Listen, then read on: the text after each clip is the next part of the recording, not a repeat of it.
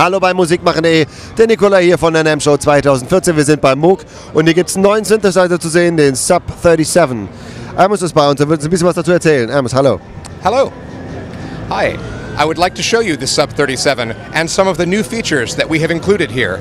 This instrument is based upon last year's very successful Sub Phatty, but we have responded to user feedback and our own desire to increase and enhance this instrument, and this has brought us the Sub 37. This is 37 keys which have aftertouch enabled, and on the larger control panel, we were able to include many additional and advanced features. For example, we have an arpeggiator directly upon the panel with multi-mode, many patterns available, up, down, in order, and random, and additionally, step sequencer and step record. This offers two modes of operation, one SH style, where one can play notes directly upon the keyboard, and these notes are recorded, and in step mode, the sequence will play, and additionally will be available an XOX style sequencing mode using these 16 preset buttons upon the panel as step editing buttons. Additionally, their main function, of course, is as preset selection, and with an additional bank button, you have 16 banks of 16 presets, or 256 presets available directly from the panel. There are, in addition, two modulation buses with two independent LFOs, which can be synchronized to MIDI clock or to the arpeggiator. Arpeggiator, of course, will also synchronize to MIDI. You have high and low range for wide ranging audio modulation, multiple LFO waveform shapes, and additional programmable modulation sources. So you have truly rich and powerful modulation abilities here you can simultaneously control the pitch of oscillators 1 and 2 individually or together, the filter, of course, and also an additional programmable modulation destination, which uh, encompasses many options including amplitude modulation, LFO rate, oscillator waveform for pulse width modulation, noise level for flute and percussive sounds, and the envelope time, which is very good for acoustic instrument replication. Additionally, another long list of programmable destinations will be available, easily edited from the convenient LCD programming interface on the left side of the panel. Moving along to the oscillator section, we have the standard offerings of two voltage controlled analog oscillators with continuously variable waveform, hard sync on oscillator 2, and a keyboard reset, which we have introduced in recent years. This allows the otherwise free running analog oscillators to be re triggered their phase at zero with each new note, which provides consistent punch and power, very good for modern electronic music production. Another new feature in the oscillator section is the duo mode. And duo mode is uh, in reference to the label paraphonic analog synthesizer. This is, in addition to its normal duties as a monosynth, you are able to control the pitch of oscillators 1 and 2 independently from two keys on the keyboard. So you can choose whether oscillator 2 is tracking the high note or the low note, or in fact, you can turn off keyboard control and oscillator 2 can drone independent of oscillator 1. In the mixer section, we have added individual on-off controls for each sound source, similar to those found on the original Minimoog Model D.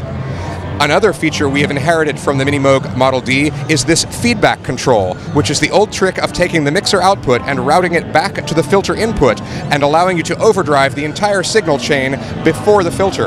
You can then, of course, then use the filter to shape the resulting sound, allowing you to get incredibly rich, saturated tones, which you can then sculpt precisely to your desire. This is in series with the new multi-drive circuit, which we introduced last year in the Sub-Phatty. So the multi-drive is a FET transistor overdrive that is surrounding the filter in series with the feedback. This gives an incredible new range of rich, saturated tones.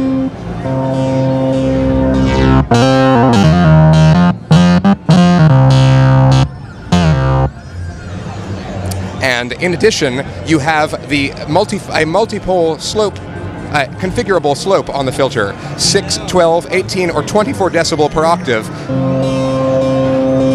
available directly from the panel, giving you four different flavors of Moog filter sound.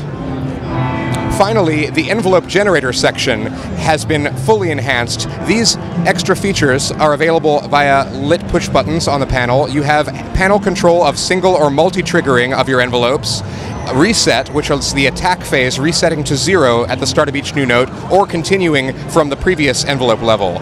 There is clock sync. You can synchronize the envelopes to your clocked time, which is useful because they can loop and latch on as additional cyclical modulation sources. Both the filter and the volume envelope can latch on.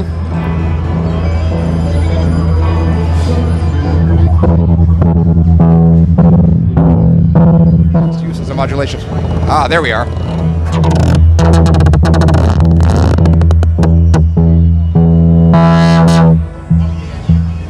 Uh, additionally, the latch on is a very useful in the ampli- amplifier envelope because if you are processing external audio through the external audio input, you needn't hold down a key or press a pedal. You can simply press a button to turn on the gate and leave the signal path fully available with all modulations uh, flowing for your external audio.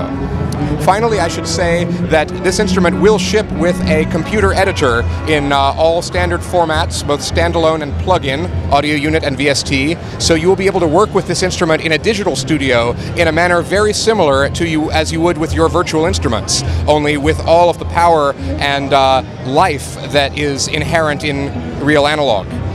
So the total package is all of the features that people have been requesting from our Moog synthesizers married into one integrated machine that represents uh, our latest and best thinking in terms of how to present these tools to the musician.